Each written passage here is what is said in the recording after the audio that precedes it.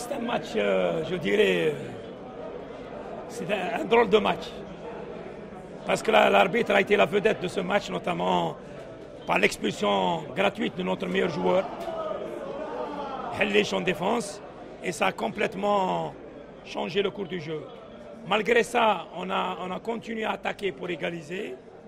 Mais la deuxième expulsion a été très fatale pour l'équipe. Je pense que l'équipe a perdu un petit peu après le contrôle, sachant que l'arbitre a joué un rôle très, très important dans ce, dans ce match-là. Pourquoi est-ce que les joueurs ont perdu le, contrôle, la discipline? Bon, Je pense que c'est surtout à cause de l'arbitre. Ils ont compris que le match a été... Euh, mais vous avez parlé de la discipline avant le match?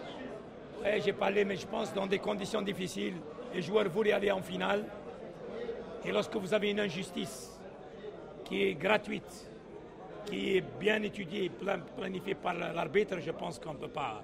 l'arbitre est connu, il a une réputation dans, dans ce... Bien sûr qu'il a une réputation.